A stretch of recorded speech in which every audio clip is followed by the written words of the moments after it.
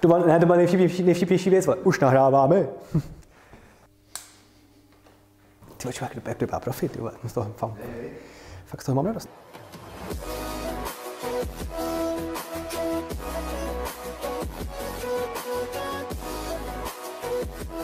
Zajímavý. Zdravím dámy a pánové u dalšího dílu z Makanoté dílny. Dneska se podíváme na mého Mazdíčka, je to mini počítač značky Spolehlivost, která e, nevím, jestli funguje, musíme se na to podívat, protože já jsem ho asi tři čtvrtě roku nezap.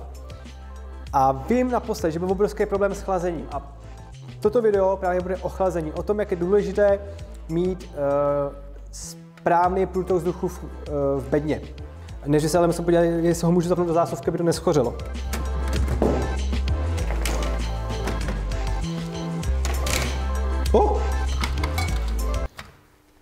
2 centy.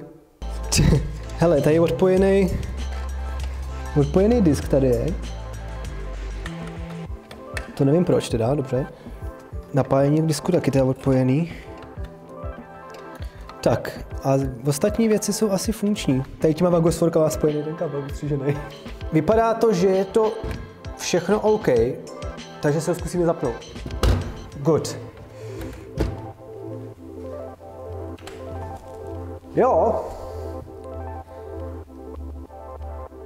Nic nejiskří, dobrý, vypadá to dobře. Uh, tady máme oh, opravenou myš. Připojíme, ať můžeme aspoň trošku ovládat.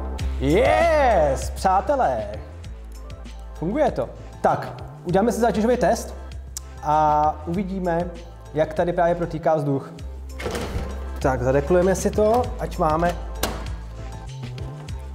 ať máme nejvěrohodnější informace, protože právě já jsem to měl takhle furt otevřený a už nechci, už to chci mít zavřený, ale to vypadá jak u lidí. A když jsem to měl zavřený, jak se to strašně přehřívalo, úplně hrozně. Ty nebudeš zapojovat ten... Na tom, Ten jsem, ani, ten jsem nikdy neměl zapojený, ten byl úplně na hovno. Takže se na to jdeme podívat.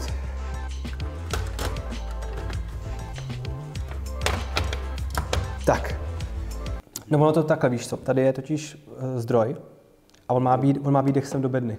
Tady není díra žádná. Právě, že já tady pot- potřebuji udělat díru. No máš pěknou diodu. Víš, vole.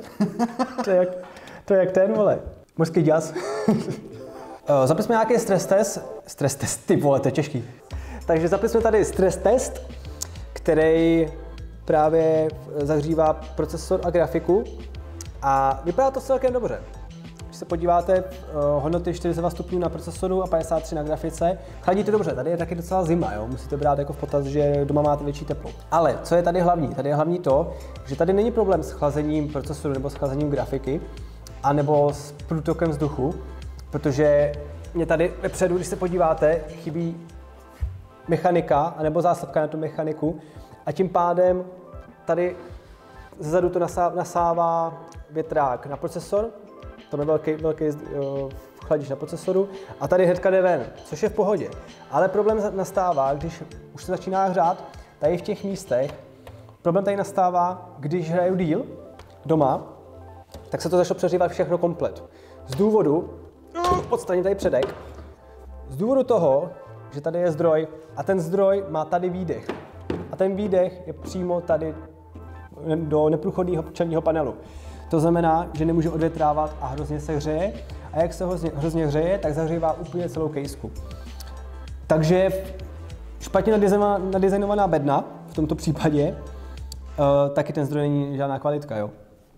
Ale určitě to není šťastný řešení toto. Uh, tady je potřeba udělat díru přes ten přední panel, nějakým způsobem ho hezky zaslepit, aby to nepadalo hnusně. A potom ten průtok vzduchu by mohl být, mohl být mnohem lepší. Teďka to trošku všechno fouká. Zkusíme si ukázat s kouřem, jak to vypadá, jo? Já to zpátky zadělám. Kolega ho zapojil, zadem nám tady do toho foukne. Tak, jak vidíte, chodí nám to tady ze stran a odsaď, právě z té díry po té po té mechanice. Schválně si zkusíme odstranit ten čelní panel a zkusíme to znova. A když se podíváte, teďka jde mnohem víc kouře tady z, tý čel, z toho čelního panelu. A je to právě kvůli tomu, že už to není tak udušený tady. právě když stavíte bednu, je hrozně důležitý na tady to myslet. Jsou tři typy chlazení nebo prostě o, flow vzduchu, který v bedně můžete docílit. Můžete udělat přetlak, to znamená, že do bedny vhaníte mnohem víc vzduchu, než vysáváte ven. Což je víceméně tady ten případ, proto, proto nám to tady fouká i všude okolo. Nebo můžete mít druhý případ, že z té bedny ten vzduch vysáváte ven, tedy nasává se všude, každou dírou se nasává, nasává vzduch a, vy, a jde ven větrákama. A nebo můžete udělat balans. To znamená, že stejně jde dovnitř, skrz větráky a skrz větráky jde stejně ven. Nejlepší fakt je s tím kouřem si to vytestovat. Třeba uh, kolega mi říkal i voní svíčky, že hodně používají. Takhle se to dá krásně otestovat. Pokud máte problém s přeříváním, tak tohle je ideální. Jestli k tomu máte nějaký dotaz, určitě mi napište do komentářů, pokusíme se na to odpovědět. U normálního meditavoru to není takový problém, ale u takové malé kejsky je fakt důležitý, aby to bylo správně nadizajnované. Z úpravy toho čelního panelu by se mohli udělat video, pokud vás to zajímalo, protože já ty vole to nechci dělat teďka, protože já na to nemám materiál.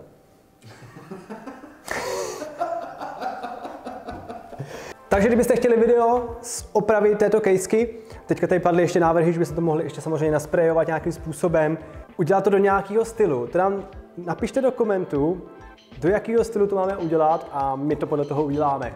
Slibuju. V únoru. Zanechte like, dislike, to jak chcete. A díky moc, mějte se krásně.